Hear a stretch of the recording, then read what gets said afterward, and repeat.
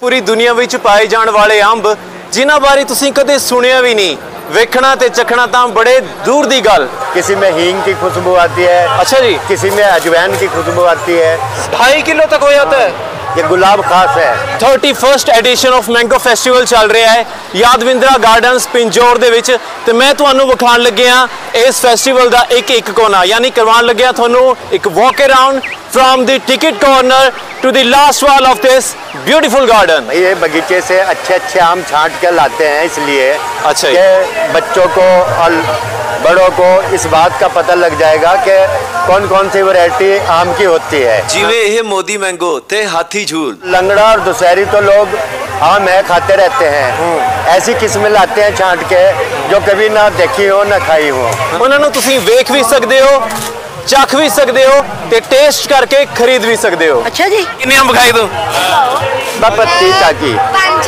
ਇਹ ਪਪੀਤੇ ਜੈਸਾ ਵੀ ਲੱਗਦਾ ਹੈ ਨਾ पवित्र है करेलिया भी होता ਕਿਉਂਕਿ ਪੂਰੀ ਦੁਨੀਆ ਦੇ ਵਿੱਚ ਮੈਂਗੋ ਦੀਆਂ 3500 ਤੋਂ ਵੀ ਅਬਵ ਵੈਰਾਈਟੀਆਂ ਨੇ ਤੇ ਕੁਝ ਇਹੋ ਜਿਹੀ ਵੈਰਾਈਟੀਆਂ ਵੀ ਨੇ ਜਿਨ੍ਹਾਂ ਦੇ ਵਿੱਚ ਇੱਕ ਇੱਕ ਫਲ ਦਾ weight ਹੁੰਦਾ ਹੈ 2-2 ਕਿਲੋ तो इसका ਸਾਈਜ਼ ਦੇਖੋ ਜੀ ਤੇ ਕੁਝ ਇਹੋ ਜਿਹੀ ਵੈਰਾਈਟੀਆਂ ਵੀ ਨੇ ਜਿਨ੍ਹਾਂ ਦੇ ਵਿੱਚ ਇੱਕ ਫਲ ਦਾ weight ਹੁੰਦਾ ਹੈ, ਸਿਰਫ 2 ਗ੍ਰਾਮ। ਤੇ ਇੱਕ ਅੰਬ ਦੇ ਬੂਟੇ ਤੋਂ ਤੁਸੀਂ ਕਿਵੇਂ ਕਈ ਕਈ ਕਿਸਮ ਦੇ ਅੰਬ ਲੈ ਸਕਦੇ ਹੋ, ਇਸ ਵੀ ਪੂਰੀ ਜਾਣਕਾਰੀ ਦਿੱਤੀ ਜਾਂਦੀ ਹੈ। ਤੇ ਨਾਲ ਦੀ ਨਾਲ ਇੱਥੇ ਹੁੰਦੇ ਨੇ ਬਹੁਤ ਸਾਰੇ ਆਰਗੇਨਿਕ ਪ੍ਰੋਡਕਟ ਤੇ ਸਭ ਤੋਂ ਮਜ਼ੇਦਾਰ ਹੁੰਦਾ ਹੈ mango eating competition so now ਦੋਸਤੋ without much ado let's get started ਸ਼ੁਰੂ ਕਰਦੇ ਹਾਂ। ਸਭ ਤੋਂ ਪਹਿਲਾਂ ਜੀ, ਸਤਿ ਸ਼੍ਰੀ ਅਕਾਲ। ਪੁਲਿਸ ਵਾਲਿਆਂ ਨੂੰ ਵੀ ਸਤਿ ਸ਼੍ਰੀ ਅਕਾਲ ਬੁਲਾ ਦਈਏ। ਅਸੀਂ ਪਹੁੰਚ ਗਏ ਹਾਂ ਪਿੰਜੌਰ ਗਾਰਡਨ ਜਿੱਥੇ ਇਹ ਮੈਂਗੋ ਫੈਸਟੀਵਲ ਪਿਛਲੇ 30 ਸਾਲ ਤੋਂ ਆਰਗੇਨਾਈਜ਼ ਕੀਤਾ ਜਾ ਰਿਹਾ ਟਿਕਟ ਕਾਰਨਰ ਤੱਕ ਜਾਂਦੇ ਜਾਂਦੇ ਥੋੜੀ ਜਿਹੀ ਹਿਸਟਰੀ ਪਿੰਜੌਰ ਗਾਰਡਨ ਦੀ ਤੁਹਾਨੂੰ ਦੱਸ ਦਈਏ ਇਸ ਨੂੰ ਬਣਵਾਉਣਾ ਸ਼ੁਰੂ ਕੀਤਾ ਸੀ ਔਰੰਗਜ਼ੇਬ ਦੇ ਚਚੇਰੇ ਭਰਾ ਫਿਦਾਈ ਖਾਨ ਨੇ 17th ਯਾਨੀ ਕਿ 17ਵੀਂ ਸ਼ਤਾਬਦੀ ਦੇ ਵਿੱਚ ਲੇਕਿਨ ਇਸ ਨੂੰ ਉਹ ਪੂਰਾ ਨਹੀਂ ਕਰ ਸਕਿਆ ਸੀ ਉਸ ਨੂੰ ਇਸ ਜਗ੍ਹਾ ਨੂੰ ਛੱਡ ਕੇ ਜਾਣਾ ਪਿਆ ਸੀ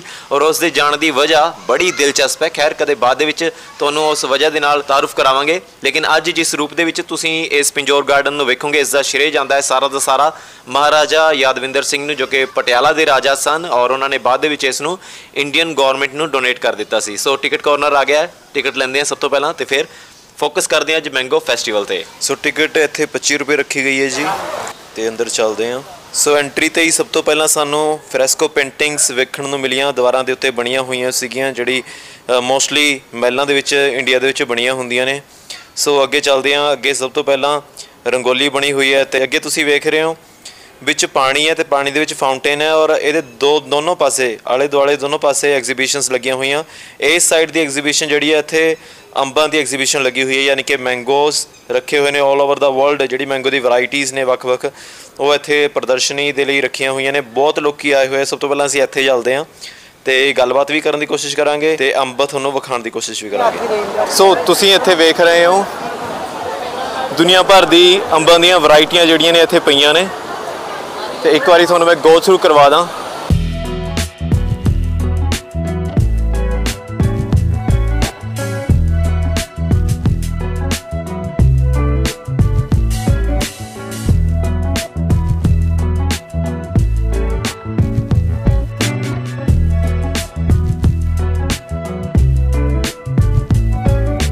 ਤੇ ਇਹ ਤਾਂ ਹੋ ਗਈ ਇੱਕ ਲਾਈਨ। ਤੁਸੀਂ ਵੇਖੋ ਕਿ ਇੱਥੋਂ ਲੈ ਕੇ ਉਹ ਪਰੇ ਤੱਕ ਜਿੰਨੀ ਵੀ ਹੈਗੀ ਆ ਕੋਈ ਰਿਪੀਟ ਨਹੀਂ ਹੈ ठीक है पाजी कहते बोल नहीं सकते ये लेकिन अ, समझा रहे हैं इशारे ਵਿੱਚ ਹੀ सबसे बढ़िया कौन सा इनमें से ये वाला ਠੀਕ ਹੈ ਮਾਲੀ ਗਾ ਕਹਿੰਦੇ ਸਭ ਤੋਂ ਵਧੀਆ ਇੱਕ ਵਾਰੀ ਤੁਹਾਨੂੰ ਦੂਜੀ ਸਾਈਡ ਵੀ ਜਾ ਕੇ ਪੂਰਾ ਗੋ ਥਰੂ ਹੋ ਜਾਈਏ ਤੇ ਫਿਰ ਅਸੀਂ ਡਿਟੇਲ ਦੇ ਵਿੱਚ ਗੱਲਬਾਤ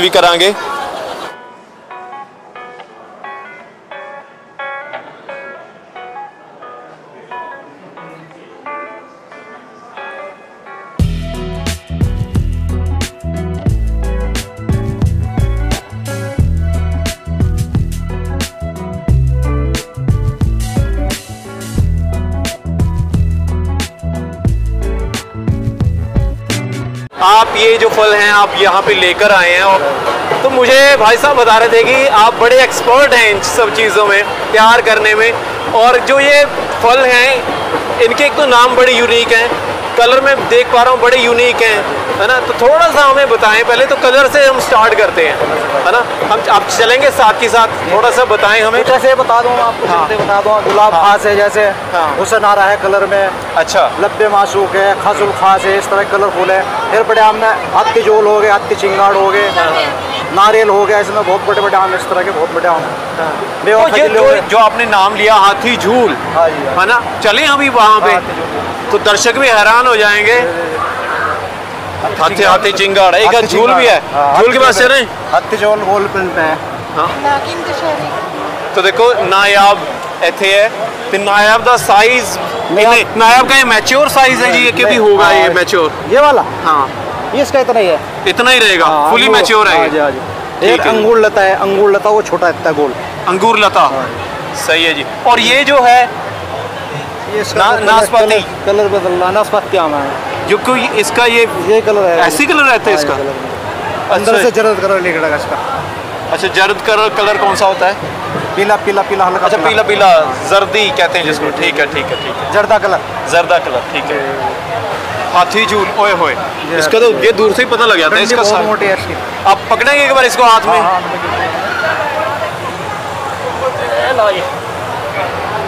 ये तो भैया किसी के ऊपर गिर जाए बंदा मर जाएगा ना ही फोड़ देगा सिर फोड़ देगा ये चोट मार देगा बड़ा खतरनाक है ये दो ढाई किलो तक वेट हो जाए इसका मैं इसको रोशनी में दिखाता हूँ एक मिनट हाँ अभी रोशनी हुई है कितना वेट होता है इसका ढाई किलो तक हो जाए इसका ढाई किलो तक हो जाता है अच्छा जी ढाई किलो तक वेट हो जाए इसका तो ए, अगर बंदे ने खाना हो तो एक बंदा तो इसको एक टाइम में खा नहीं सकता दो टाइम ये तो पूरा टब्बर खाएगा दो टाइम पूरी फैमिली का एक ही एक ही फल खाएगी फैमिली का अच्छा। अच्छा ये, नुकसान भी होते हैं आम खाने के मोशन भी लग जाती है वो तो नहीं चक्कर इसका। है जी? कई ना बार ना ना ऐसा नहीं है। ऐसा नहीं है? सही है ये बिल्कुल। अगर आप मसाले में पका के खाओगे पानी में नहीं डुबाया आधा घंटा पानी में रखो मसाले में अगर पकाया आपने। अच्छा जी। उसके बाद फ्रिज में रख दो थोड़ी देर फिर ठंडा करके खाओ। सही है मतलब कि ठंडा करके खाना चाहिए हाँ, पानी में डुबो के फिर सही रहता है। उसका दूध भी खत्म हो जाता है और गर्मी भी खत्म हो जाती है उसकी। अच्छा जी। हाँ जी आम का ये तरीका खाने का। सही है। अगर पाल का है अगर डाल गए दस मिनट दस मिनट रखो उसको। हाँ जी। अगर टपके का है दस दस मिनट रखो उसको पानी में निकाल के खा लो। ठीक है जी मैं आंदा भाई थोड़े को ये ये ये कलरफुल है। अच्छा जी। इसका गुद्दा सफ़ेद है अंदर से। सफ़ेद है? अंदर से सफ़ेद है। अच्छा जी। हाँ मिठा बहुत है। ऐसे अच्छा। हाथ मारो इसमें जूस आया छोड़ लो। सारे हाथ हाथी झूल की फ़ोटो खींच रहे हैं। भी तो बच्चा है इसमें गुठली भी नहीं सही तरीके से बैठ ये बच्चा है भाई? हाँ बच्चा ही है। ये ढाई किलो का होया दो किलो से कम का नहीं है ये छोटा पीस अच्छा हाँ। लेट तो दोस्तों ये बच्चा है देख लो अभी। अब मौसम लेट है ना मेरा पंद्रह दिन। पंद्रह दिन लेट और एक महीने बाद टूटता है। अच्छा वाला डेढ़ किलो वाला अनार है ये। ये एक आदमी ये खा लगा ये काम। अच्छा वो वाला? हाँ जी। सही है। ये क्या है जी एल्फेंसो है? केलवा चंबा। है जी रस पुनिया है ये स्पून ही आया है बड़ा वाला ਤੁਸੀਂ ਕੰਪੈਰੀਜ਼ਨ ਕਰ ਸਕਦੇ ਹੋ ਕਿ ਸਾਈਜ਼ ਕਿੰਨਾ ਹੈ ਕਿੰਨਾ ਕਿੰਨਾ ਵੱਡਾ 2-2 ਕਿਲੋ ਦਾ ਇੱਕ ਇੱਕ ਅੰਬ है लेकिन ये वैरायटी ये तो ऐसे लगता है जी जैसे अमरूद है ये हाँ इसे करेलिया बोल रहे हैं करेलिया होगा कुछ और है ये पपीते जैसा भी लगता है ना पपीता पपीता रहेगा करेलिया भी होता है सही हाँ एक करेला ऐसे होता है हरे वाला छोटा सा वो करेले और इसका जैसा- नाम है अजूबा हाँ जी बढ़िया वाला।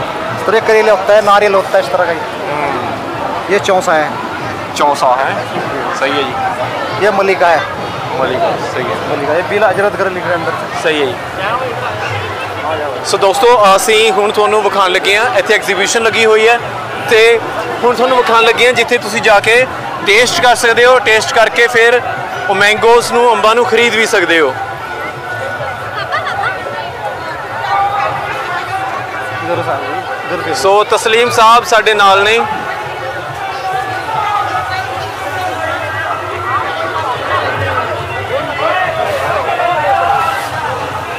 जी आंटी जी थोड़ा साइड में ਸੋ ਇਸ ਜਗ੍ਹਾ ਦੇ ਉੱਤੇ ਆ ਕੇ ਤੁਸੀਂ ਟੇਸਟ ਵੀ ਕਰ ਸਕਦੇ ਹੋ ਚੱਕ ਵੀ ਹਾਂਜੀ, ਸਕਦੇ ਹੋ ਹਾਂਜੀ। ਤੇ ਉਹਨੂੰ ਖਰੀਦ ਵੀ ਸਕਦੇ ਹੋ कोई टेंशन सही है सफेदी पर है इसका ओए होए एल्फेंसो देखो दोस्तों साफ पता लगता है फर्क ये ये कौन सा एल्पेंसो एल्फेंसो हाँ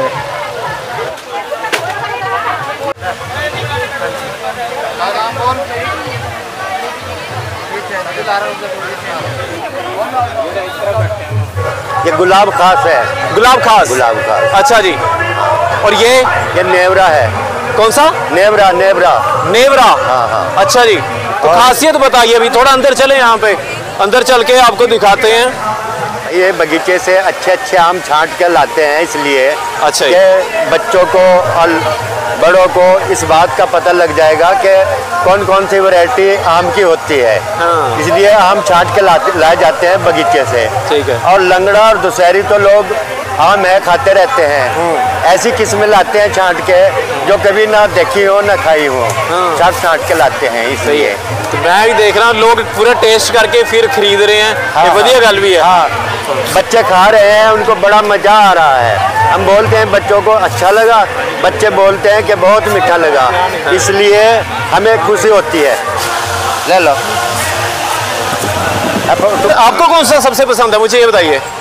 मेरे को किस्में हैं जो अच्छे अच्छे हैं देसी की। अच्छा। जिनका रस पतला होता है अच्छा। और चुस्सी जाती हैं। अच्छा जी। वो बहुत अच्छी लगती है मेरे को। ठीक है जी ठीक है। उनमें काफ़ी आम ऐसे हैं जिनमें खुशबू भी आती है। किसी में हींग की खुशबू आती है। अच्छा जी। किसी में अजवैन की खुशबू आती है। सही। तो वो अच्छे लगते हैं। अच्छा आम की खासियत क्या है? आम जो हेल्थ के लिए क्या बेनिफिट होता है आम का?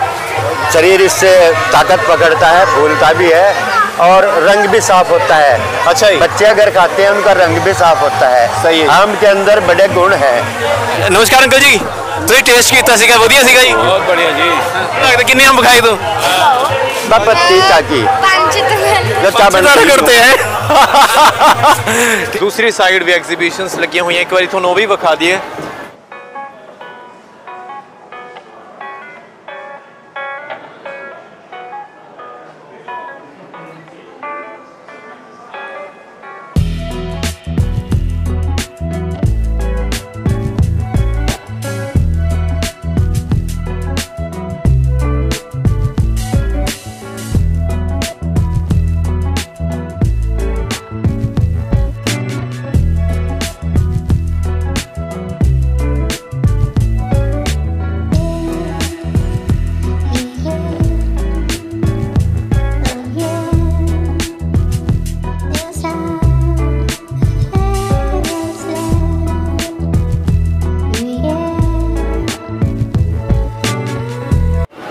ਐਗਜ਼ੀਬਿਸ਼ਨਸ ਵੱਖ-ਵੱਖ ਲੱਗੀਆਂ ਹੋਈਆਂ ਨੇ। ਸੋ ਸ਼ੀਸ਼ ਮਹਿਲ ਇਹਦੀ ਵੀ ਇੱਕ ਆਪਣੀ ਹਿਸਟਰੀ ਆ। ਲੇਕਿਨ ਹੁਣ ਆਪਾਂ ਨੀਚੇ ਚੱਲਦੇ ਆ ਤੇ ਉੱਥੇ ਤੁਹਾਨੂੰ ਵਿਖਾ ਦਿੰਦੇ ਆ। ਸਤਿ ਸ਼੍ਰੀ ਅਕਾਲ ਸਰ। ਸੋ ਤੁਸੀਂ ਬਾਉਂਡਰੀ ਵਾਲ ਦੇਖ ਰਹੇ ਹੋ।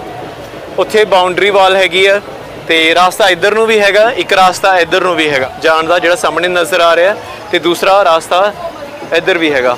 ਪਤਾ ਨਹੀਂ ਘਮਾਣਾ ਕਿ ਨਹੀਂ ਘਮਾਣਾ।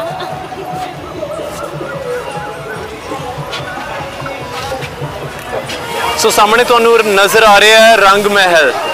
ਸੋ ਇਹ ਜਿਹੜਾ ਗਾਰਡਨ ਹੈ ਇਨਕਲਾਈਨਡ ਬਣਿਆ ਹੋਇਆ ਹੈ, ਯਾਨੀ ਕਿ ਜਿੱਦਾਂ ਜਿੱਦਾਂ ਤੁਸੀਂ ਅੰਦਰ ਜਾਂਦੇ ਹੋ ਤੇ ਉਦਾਂ ਉਦਾਂ ਇਹ ਜਿਹੜਾ ਗਾਰਡਨ ਹੈ ਤੁਹਾਨੂੰ ਨੀਵੇਂ ਨੀਵੇਂ ਲੈ ਕੇ ਜਾਂਦਾ ਯਾਨੀ ਕਿ ਜਿੱਦਾਂ ਤੁਹਾਨੂੰ ਸੀੜੀਆਂ ਉਤਰਨੀਆਂ ਪੈਂਦੀਆਂ ਪੌੜੀਆਂ ਉਤਰਨੀਆਂ ਪੈਂਦੀਆਂ ਇਧਰ ਫਾਊਂਟੇਨ ਬਣੇ ਹੋਏ ਨੇ।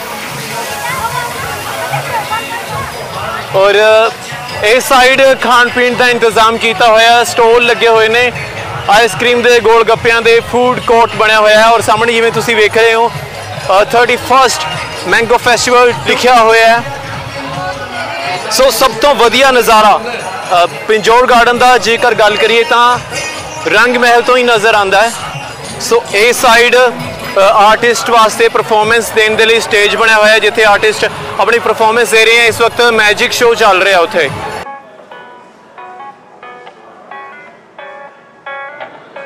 ਭਾਈ, ਤੁਸੀਂ ਤਾਂ ਡਰਾਤਾ ਸੀ ਮੈਨੂੰ। ਭੀੜ 'ਚ ਤੁਸੀਂ ਪਹਿਲਾਂ ਨਜ਼ਰ ਨਹੀਂ ਆਏ। ਖੂਬਸੂਰਤ ਨਜ਼ਾਰਾ ਪਿੰਜੌਰ ਗਾਰਡਨ ਦਾ। ਇੱਥੇ ਰੰਗ ਮਹਿਲ ਤੋਂ ਹੀ ਨਜ਼ਰ ਆਉਂਦਾ ਹੈ। ਤੇ ਸਾਹਮਣੇ ਨਜ਼ਰ ਜਿਹੜੀ ਆ ਰਹੀ ਹੈ ਸਟੇਜ ਲੱਗਿਆ ਹੋਇਆ, ਉਹ ਲਾਸਟ ਵਾਲ ਹੈ ਇਸ ਗਾਰਡਨ ਦੀ। ਤੇ ਜਿਵੇਂ ਤੁਸੀਂ ਵੇਖ ਰਹੇ ਹੋ ਫਾਊਂਟੇਨ ਚੱਲ ਰਿਹਾ ਔਰ ਸ਼ਾਮ ਦਾ ਨਜ਼ਾਰਾ, ਕਿਉਂਕਿ ਪਾਮ ਦੇ ਟਰੀ ਲੱਗੇ ਹੋਏ ਆ ਤਾਂ ਜਦੋਂ ਸੂਰਜ ਗਰੂਬ ਹੁੰਦਾ ਹੈ, ਸੂਰਜ ਜਦੋਂ ਢਲਦਾ ਤਾਂ ਇਹ ਜਿਹੜੇ ਪਾਮ ਦੇ ਟਰੀ ਹੈ, ਇਹ ਹੋਰ ਵੀ ਖੂਬਸੂਰਤ ਨਜ਼ਾਰਾ ਪੇਸ਼ ਕਰਦੇ ਨੇ।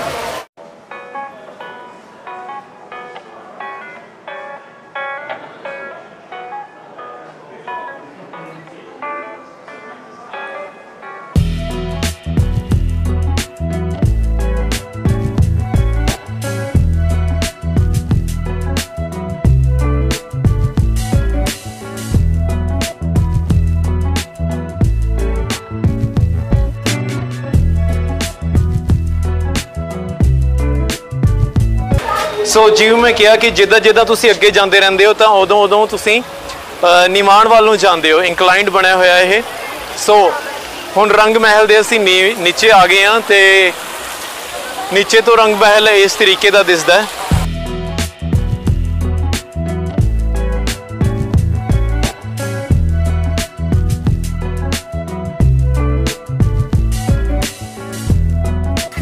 ਸੋ ਇੱਧਰ ਰੈਂਪ ਵੀ ਬਣਿਆ ਹੋਇਆ ਤੇ ਸਟੇਅਰਸ ਵੀ ਨੇ।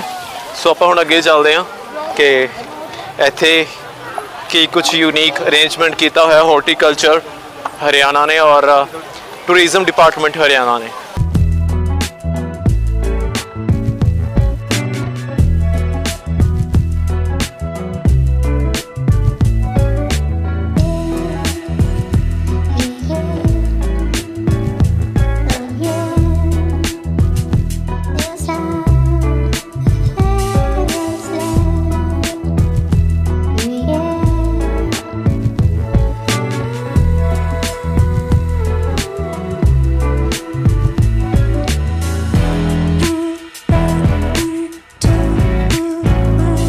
ਹੋਰ ਗੱਲ, ਖਾਸ ਗੱਲ ਤੁਹਾਨੂੰ ਦੱਸਦਾ ਪਿੰਜੌਰ ਦੀ ਕਿ ਪਿੰਜੌਰ ਦੇ ਵਿੱਚ ਬਹੁਤ ਸਾਰੀਆਂ ਤਕਰੀਬਨ 365 ਬੋੜੀਆਂ ਨੇ, ਜਿਹਦੇ ਵਿੱਚ ਆਪਣੇ ਆਪ ਜਿਹੜਾ ਪਾਣੀ ਉਹ ਨਿਕਲਦਾ ਰਹਿੰਦਾ ਇੱਥੇ ਗੁਰੂ ਨਾਨਕ ਦੇਵ ਜੀ ਮਹਾਰਾਜ ਵੀ ਆਏ ਸਨ ਤੇ ਕਿਹਾ ਜਾਂਦਾ ਹੈ ਕਿ ਇੱਥੇ ਪੰਜ ਪਾਂਡਵਾਂ ਨੇ ਜਦੋਂ ਅਗਿਆਤਵਾਸ ਆਪਣਾ ਕੱਟਿਆ ਤੇ ਉਸ ਦੌਰਾਨ ਵੀ ਇੱਕ ਸਾਲ ਇੱਥੇ ਪਾਂਡਵ ਰਹੇ ਸਨ।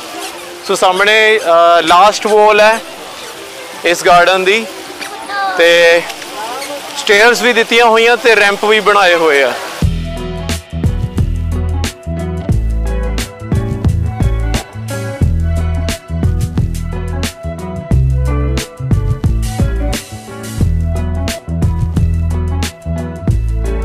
ਬਿਲਕੁਲ ਉਸੇ ਪੈਟਰਨ ਤੇ ਜਿਵੇਂ ਰੰਗ ਮਹਿਲ ਤੋਂ ਜਦੋਂ ਫਾਊਂਟੇਨ ਨੇ ਉਹ ਨੀਵੇਂ ਨੀਚੇ ਆਂਦੇ ਇੱਕ ਰੈਂਪ ਬਣਿਆ ਹੋਇਆ ਜਿੱਥੇ ਪਾਣੀ ਜਿਹੜਾ ਹੈ ਇਸ ਤਰੀਕੇ ਦੇ ਨਾਲ ਇੱਕ ਅ, ਇੱਕ ਇਫੈਕਟ ਪੈਦਾ ਕਰਦਾ ਹੋਇਆ ਨੀਚੇ ਜਾਂਦਾ ਹੈ। ਤਾਂ ਇੱਥੇ ਵੀ ਉਹੀ ਪੈਟਰਨ ਦੇ ਉੱਤੇ ਕੰਸਟਰਕਸ਼ਨ ਕੀਤੀ ਹੋਈ ਹੈ। ਔਰ ਇਸ ਸਾਈਡ ਮੈਨੂੰ ਵਿਖਾਈ ਦੇ ਰਹੇ ਬਹੁਤ ਸਾਰੇ ਜਿਹੜੇ ਅੰਬਾਂ ਦੇ ਪੇੜ ਵੀ ਲੱਗੇ ਹੋਏ ਆ।